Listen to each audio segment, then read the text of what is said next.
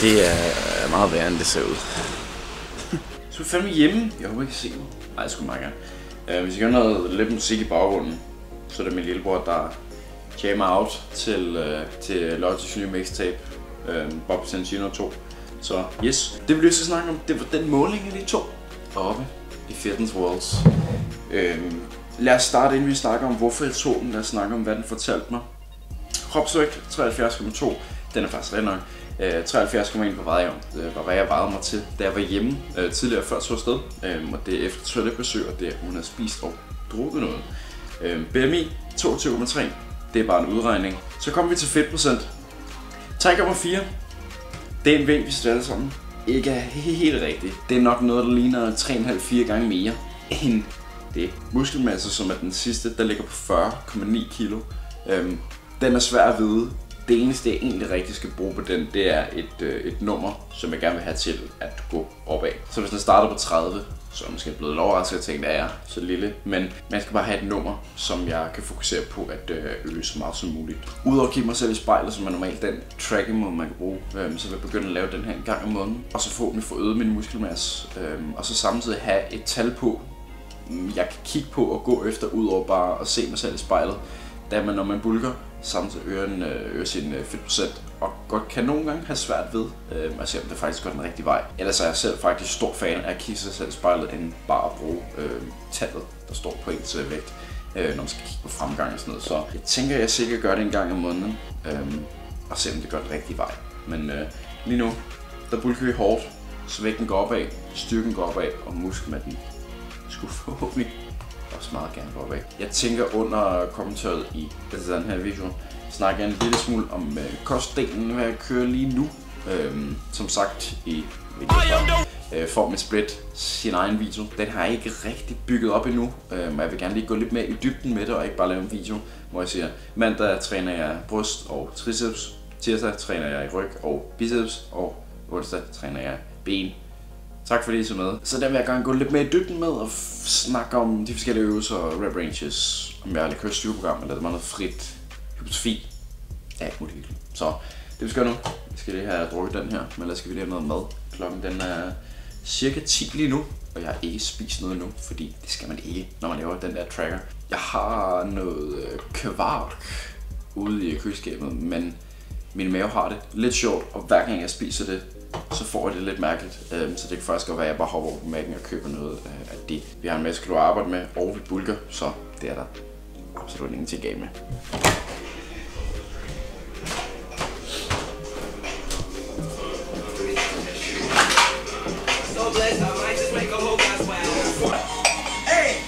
I work hard every motherfucking day,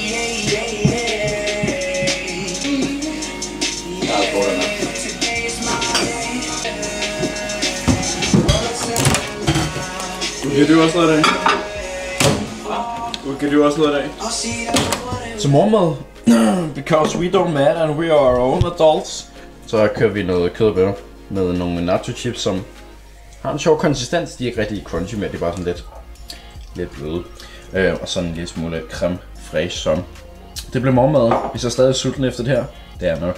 Øh, så skal vi have, have fat noget af de her Weedos. Ah, for, for 20 Smoke. Ah.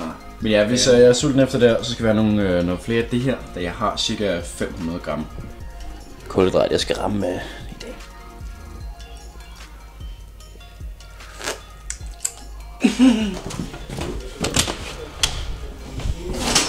Ses faggots. Ses. Goddag alle sammen og velkommen til. Vi starter vloggen en lille smule sent i dag. Klokken den er kvart i to cirka. Jeg var på arbejde hele morgen jeg tænkte, der var fandme ikke noget spændende at filme. Men øh, nu er vi på vej ned mod Søber Hovedgade for at træne der. Jeg træner ikke der særlig ofte. Øh, men de har fået lavet sådan en helt ny rebuild øh, for nogle måneder siden, må det være nu. Øh, og det har jeg ikke vist endnu, så nu tænker jeg, hey, hvorfor jeg gør det? Så øh, der skal vi op og bryst nu. Jeg har en masse kulhydrat i mig, som i rigtig mange kulhydrat i mig. Øh, så forhåbentlig får vi et vanvittigt pump.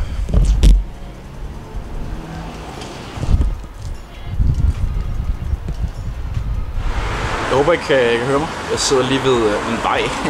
um, en anden grund til, at jeg skal lige på hovedgade, det er, at jeg skal aflevere en, en af mine t-shirts fra den øh, 6. til den 10. der havde jeg et, øh, et flash sale, som jeg holdt meget eksklusivt kun på Instagram. Af, af den grund, at for det første synes jeg ikke rigtig, jeg havde noget at filme, så jeg havde ikke rigtig noget at snakke om, hvor jeg kunne snakke om t-shirts, men og så også jeg gerne vil have, at folk følger mig på de andre sociale medier, øhm, og ikke kun YouTube. Øh, så gå ind, følg mig på Instagram. Det, mit navn står i description, og det kommer også til at skubbe sammen et sted, hvis det er. Øh, men ja, i description, husk at følge mig. Øh, der kommer en masse opdateringer op, måske sjovt nok oftere, end øh, det gør på YouTube, da det er noget nemmere at lægge et øh, billede op på sin story, end det er at øh, lægge en video op på YouTube. Så ja, jeg tjekkede rejseplanen også. Øhm, sagde den ville komme her 6 af om 2 minutter. Så kigger jeg, så står der 5. Og det er pissekoldt, så det er sådan lidt semi, men øh, vi overlever nok.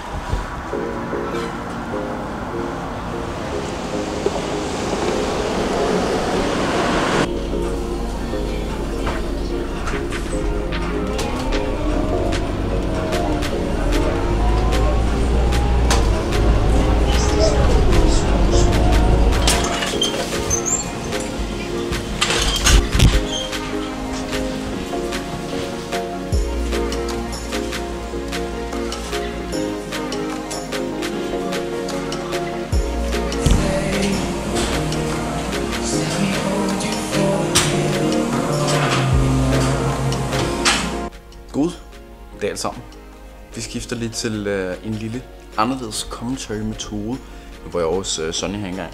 Øh, så i stedet for, der sidder jeg lige nede i hjørnet engang og snakker til jer. Øh, vi skal snakke lidt smule om øh, min kost, hvordan jeg spiser mine makroer og noget af den stil.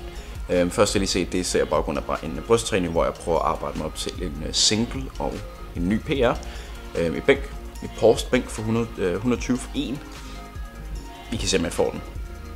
Um, yes, vi skal i hvert fald snakke om min, uh, min kost. Vi kan lige starte med at snakke, eller vi kan lige så snakke, starte med at uh, få mine makroer på plads. Um, lige pc. Bulker jeg forholdsvis hårdt, min vægt stiger meget, meget hurtigt. Um, så det betyder også, at jeg spiser rigtig, rigtig mange kalorier. Uh, min kalorier ligger cirka på 3800. Det er meget for en af min størrelse. Um, men ja, jeg har masser af energi, og jeg træner rigtig hårdt. Min makroer er lige pt. Uh, 200 gram protein, 500-525 gram kulhydrat og 80-100 gram fedt. Øhm, jeg spiser cirka 200 gram protein, så er stadig på den sikre side, selvom jeg rammer en lille smule under. Øhm, så er jeg sikker på, at jeg altid øhm, rammer min protein, hvilket jeg synes er rigtig, rigtig vigtigt, og også skulle være rigtig, rigtig vigtigt for jer. Øhm, noget jeg så har skiftet rigtig, rigtig meget i forhold til min sidste gang, jeg har bulget. Ja, videoen kører lige her, så hvis jeg kigger lidt ned, bare for at se lang tid tilbage. Så derfor, øhm, men det jeg har gjort tidligere, da jeg har spist rigtig, rigtig meget fedt, fordi min appetit aldrig nogensinde har været til at kunne spise så meget. Øhm, og fedt har 9, 9 kalorier per, per gram, hvorimod kulhydrat kun har 4. Øh, hvilket betyder, at man skal spise meget mindre fedt for at få samme mængde kalorier. Øhm, så tidligere har jeg spist noget, der ligner 120-150 gram fedt om dagen, hvilket er rigtig, rigtig meget. Og min kulhydrater har været på 350 eller sådan noget. Men nu, hvor min appetit er til, at jeg kan spise så meget mere, så jeg faktisk skal op og ramme de der 500 kulhydrat, så hjælper det mig utrolig meget med at virkelig, sådan virkelig at få ekstra meget energi til at træne rigtig, rigtig hårdt. Det er også derfor, min styrke stiger helt vanvittigt lige nu. Øhm, fordi jeg har så mange kalorier i mig. Øhm, hvilket er super, super dejligt. Øhm, også fordi jeg har jeg altid synes, at fedt, eller i hvert fald en, en høj mængde fedt, har gjort mig, ikke, kan man sige slatten, den har gjort mig meget doven, den har gjort mig meget sådan, altså et ekstra, ekstra mængde kulhydrat giver et bedre pump, hvor mod fedt egentlig bare har gjort, i hvert fald tidligere, har gjort mig sådan lidt døsig og meget træt, øhm, og ikke rigtig hjulpet så meget på mine træninger, udover bare at jeg skulle have kalorier, så jeg kunne tage på og bygge muskel. Hvorimod nu, øh, hvor jeg spiser meget mere kulhydrat, og det faktisk hjælper mig til mine træninger, både øh, fysisk, øh, men også mentalt. Øh, så jeg spiser de der cirka 500-525 gram kulhydrat øh, per dag. Øhm, ja, skal vi gøre dem kilderne? Lad os give det med den måde. Øhm, kilderne pt. Øhm, jeg fordeler min protein sådan lige lidt over hele dagen med sådan cirka 40-50 gram protein per måltid. Øhm, og så spiser jeg mange af mine, øh, mine snacks. snacks. Min mellemmåltid består af et højt øh, mængde kulhydrat. Der er også øh, stor mængde kulhydrat i alle mine måltider, men snacksene er ofte sådan høj kulhydratmængde, øh, så jeg kan komme op på de der store mængder. Øh, fedt med samme protein, det bliver bare fordelt over hele dagen. Så det var egentlig min kost. Nu har jeg ikke så meget tid tilbage. Jeg tror, jeg har noget, der ligner 40 sekunder tilbage, eller sådan noget, max 25 måske. Så ret langt fra hinanden, men øh, hvis ikke øh, allerede har det, så husk at subscribe, det hjælper utrolig meget, og også give den en like, det tager to sekunder. Øhm, så jeg håber egentlig, øh, I nydt resten af, hvad hedder det, I nydt videoen lidt videre. Og så begynder resten af videoen. Ses.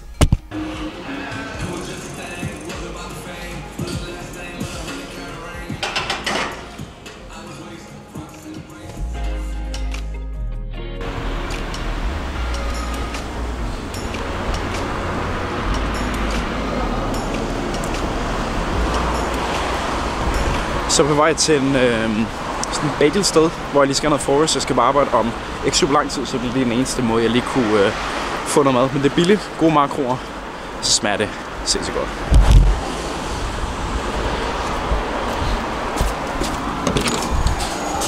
Som I nok så, fejlede jeg 120 bænk. Det var måske også en lille øh, en overdrivelse af, hvor stærk jeg egentlig er. Jeg smed 5 kilo ekstra på sin øh, PR. Meget spontant uden at rigtig øh, for det første at varme op til det. Jeg varmer op på en forkert måde i forhold til at varme op på til en 100 max, i hvert fald hvad jeg plejer. Selve øh, mentaliteten var også lidt smule anderledes. Jeg tænkte bare 110, som var det, jeg skulle arbejde op til for en single, den fløj op.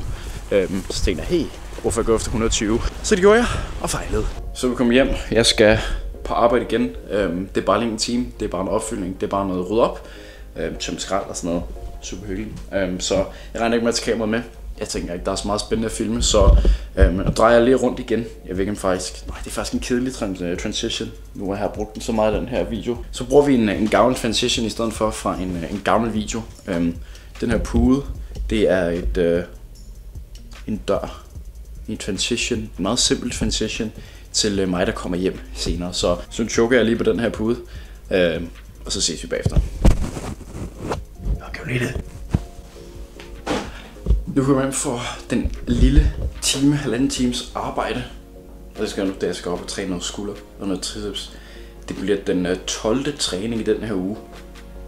Det er nu, hvor jeg har trænet allerflest gange, tror jeg. Men når jeg spiser simpelthen også så mange kalorier, jeg er nødt til at øh, give den ekstra meget intensitet, når jeg er oppe at træne. Øh, grunden til, at jeg træner de to gange om dagen, i stedet for bare en enkelt gang med alle muskelrummerne, er for eksempel i dag, hvor jeg træner bryst, skulder og triceps, Øh, starter ud med bryst, så laver jeg en til to øvelser mere, end jeg måske ville lave, hvis jeg skulle have lavet alle tre øh, muskelrummer. Og så senere på aftenen, så laver jeg en til to øh, øvelser, så både skulder og triceps, mere end jeg måske har lavet, øh, har lavet hvis jeg træner alle muskelgrupper. Øh, den måde for at brænde flere kalorier, og jeg får noget mere hvad hedder det, volumen ind, end jeg ville gøre, hvis jeg havde trænet alle tre muskelgrupper til samme træning. Igen tror jeg ikke, at jeg gider tage kameraet med op. Jeg har fået filmet træning i dag, og den her vlog den fortsætter til i morgen. Øhm, så der kommer også til at være noget mere træning. Øhm, så det ikke bare bliver de muskelgrupper, der hænger sammen, men som vi faktisk får noget forskelligt i en video. Super fedt. Øhm, I overmorgen, tirsdag, der tager jeg afsted til Sonja. Øhm, der er jeg indtil lørdag, hvor jeg så tager hjem. Jeg er lige hjemme en enkelt dag til søndag, og så skal jeg til Edinburgh. Hedder det det? Jeg ved ikke, hvad hedder det på dansk. Jeg har kun sagt det på engelsk, når jeg snakker med min kæreste, og så på har også sagt det på engelsk af en eller anden grund. Øhm, jeg ved, på engelsk er det Edinburgh, Øh, det hedder vel ikke Edinburgh, det er mærkeligt. Edinburgh, Edinburgh, okay. det er så meget. Jeg skal være til Skotland, Edinburgh, um, den 19. til den 21. Så der får I nogle rigtig lækre vlogs fra, så det skal I glæde til. Inden jeg går og træner, vil jeg lige hurtigt spise en enkelt riskiks. En, en riskiks. Hvad er det? Det er ikke. Med Nutella på, og så en, øh, en banan. Så nogle øh, hurtige øh, pure carbs jeg har allerede spist øh, den her bagel, så drikker jeg også en Barebells Protein Milkshake, før jeg er begyndt med at arbejde. Så jeg har fundet mad ind for ikke super lang tid siden, men jeg tænkte, at jeg vil have nogle hurtige kulhydrater, så jeg får et uh, ekstra lækkert pump, og forhåbentlig giver mig lidt mere energi, så give en ekstra gas. Så til nu der lavede jeg en, uh, en grydepasta rigtig ret. Det består af noget rød peber. Der er en masse rejer, lidt smule ost. Helt fin makro. Det betyder, at jeg får en masse kulhydrater ind. Øhm, hvilket er super fedt. Der er også fået så meget fedt, øhm, men jeg har ikke spist super meget fedt i dag, hvilket er super godt. Så øh, normalt i løbet af en dag fokuserer jeg meget på at spise kulhydrater, ikke så meget fedt.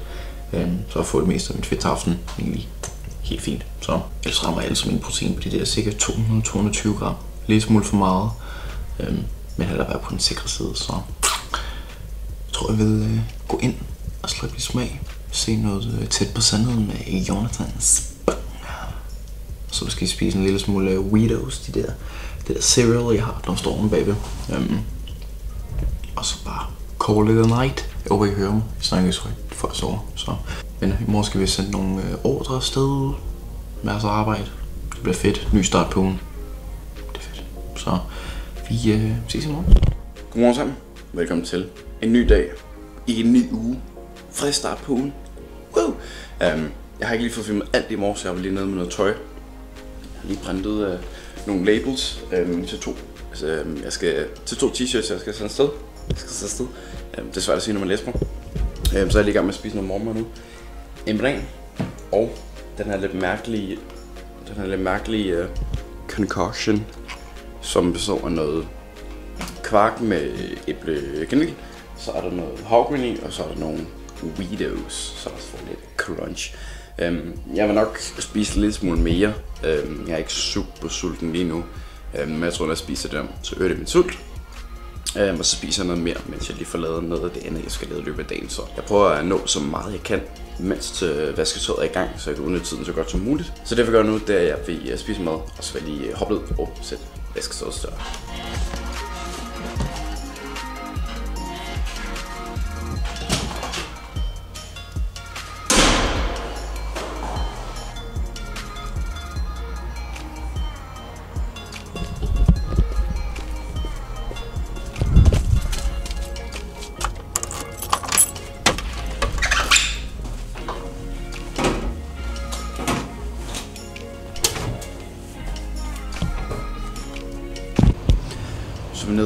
Vi øh. Så jeg bare lige og venter på noget øh, tøj bliver tørt. Så jeg lægger det sammen, så jeg kan komme op og tage sted til træning. Øhm, jeg skal arbejde her kl. 16, øhm, og klokken den er ved at være lidt over 9, tror jeg. Okay, den er halv 10. Øhm, og det betyder, at jeg er stille og rolig. Jeg er ved at løbe tør for tid, hvis jeg skal nå alt, hvad jeg skal nå. Øhm, da jeg rigtig gerne vil have trænet, så man kan sige så tidligt som muligt. Hvis jeg har trænet så tidligt som muligt, så vil jeg gjort det, når jeg øh, vågnet op. Men her så, så snart som man nu kan. Vi skal træne noget ryg, øh, bare skulder biceps. Lige nu, nu trænede jeg øh, skulder i går sent. Jeg lavede meget af det, jeg plejer at lave. Skulderpres med øh, dumbbells, det er en meget mave, så jeg laver den ikke super ofte, men ikke noget, jeg bliver sådan ekstra øm af. Jeg lavede lateral race, jeg lavede skulderpres med en, en maskine, plate loader maskine, og så lavede jeg lateral races i kablerne. Og, og det var det.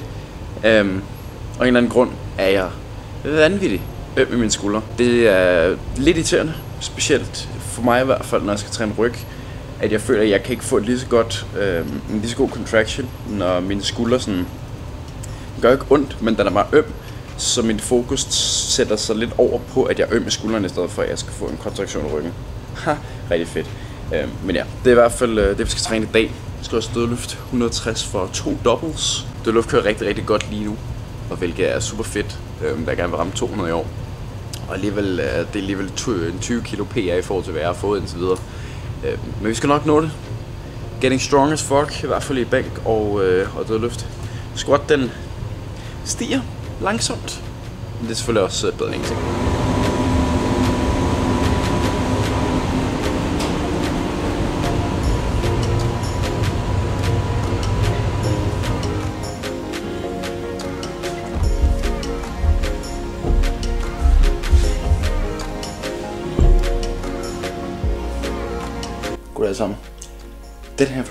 Sådan lidt øh, all over the place. Øhm, I dag er dagen efter, vi så i går. Øh, mit kamera valgte at være sådan lidt mere. Den er ikke mere strøm tilbage. Der er ikke mere plads på SD-kortet. Og så havde jeg simpelthen så travlt med arbejde, og jeg skulle pakke taske, og jeg skulle spise og pisse lort til, at jeg kunne filme noget andet. Så nu øh, fortsætter vloggen på tredje dagen. Jeg håber ikke, den har været alt for mærkelig. Jeg håber stadig, det giver mening i forhold til klippene, jeg filmet og indholdet i selve vloggen. Men øh, yes. uh, nu tænker jeg, at uh, skal vi, jeg skal nemlig afsted til, uh, til Sonja nu. Uh, afsted til Stockholm. Så nu tænker jeg, at uh, det hele det går lidt hurtigere.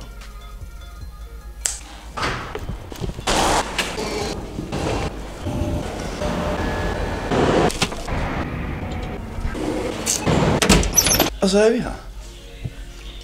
Det er en uh, lille smule senere nu, og mig og Sonja er på vej til Flippin' Burger. Bur- Flippin' Burgers. øh, som er ifølge noget, der hedder Burger Dudes som I helt klart skal følge på Instagram. Øh, de laver sådan nogle burger reviews om både i Sverige og internationalt, øh, og giver dem ratings og sådan noget, og det er, I får, altså, de gange vi har fulgt deres anbefalinger, har den været nogle af de bedste burger, vi har fået. Så nu skal vi til den restaurant, de siger er den bedste burger i Stockholm. Så forventningerne er høje, forhåbentlig ikke alt for høje, så det faktisk øh, stinker. Øh, for det er nogle gange det, der kommer til at ske. Men øh, jeg gad ikke rigtig filme med mere træningen.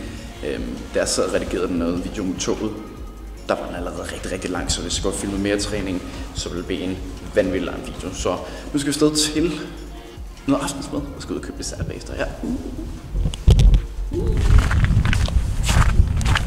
Til, øh, til dem, der ikke ved det, så er både Sonja og jeg rigtig, rigtig store fans af burger. Øhm, begge af os har en liste med ratings over de burgersteder, vi har været. jeg ved ikke, om det er mærkeligt. Jeg synes, det er meget fint og meget hyggeligt. Øhm, så kan jeg også styr, så jeg også holde styr på, hvilke jeg synes er gode. Øhm, og tage dem, hen til dem, jeg faktisk synes er gode. Også i forhold til min tur til Edinburgh. Jeg skal kun være der i uh, cirka to dage. Men jeg er der for at træne, og jeg er der for at spise masser af burger. Øhm, jeg skal træne i stedet, der hedder The Bodybuilding Gym Edinburgh. Øh, og så skal jeg spise på alt muligt forskellige burgerrestauranter. Så det er fra den 19. til den 21. skal være der, og jeg skal nok lave en vlog for hver dag der. Og den her gang skal jeg nok få den ud. Jeg har taget en rigtig computer med, så jeg kan overføre, og det hele uden fejl, som der vidteligt er sket hver eneste gang, jeg har filmet noget, hvor jeg har været på en tur eller udrejse. Hver eneste gang. Korsika, London første gang, Berlin, London anden gang. Alle gange er der sket noget galt. Øh, så det her gang, så er jeg sikker på, at øh, det ikke kommer til at ske.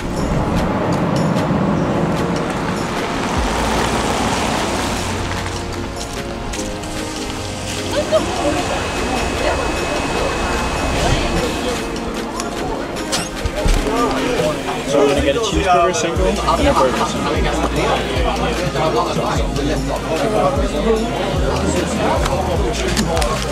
single.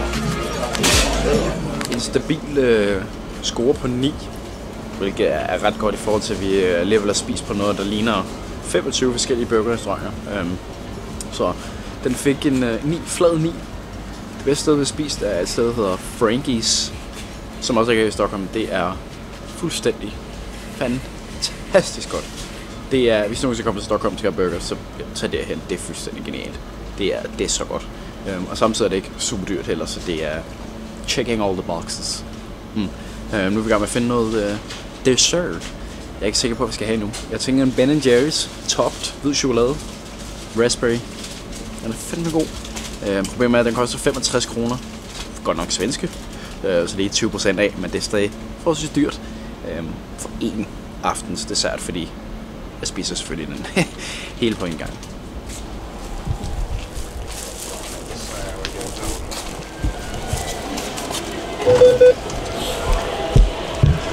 Nu ved øh, sådan jeg sætter til at spise noget sært. Se noget Walking Dead. Så stille og roligt, for tro. tror, tror faktisk, også, jeg skal rigtig gerne en lille smule mere på dagens video. Øh, det der er lidt irriterende nogle gange, øh, når jeg så redigerer video. Øh, jeg har træningsfootage. Jeg kan lave kommentarer til det, og bare nødt til at vente til dagen efter med at få det lavet. Øh, men jeg redigerer alle de clips, jeg kan, øh, så meget som jeg har lyst til senere. Så jeg vil egentlig gerne sige, at mange tak fordi I gad så med. Hvis I nåede så langt, så husk at give den et like. Hvis I ikke er subscribet, så husk at gøre det. Mange tak fordi I gad så med. Power up, up, I be drip, crystal drip, don't do the drugs, must be a script. Mama told me gotta find me a bitch, might just go for her, I'm hoping she's rich. Money blue and red like Lilo and Stitch. Antibiotics all up on my system, my diamonds go glisten, I'm going so blind. The card you won't find, baby, no money, I'm one of a kind. Why is your mommy like one wanting my son?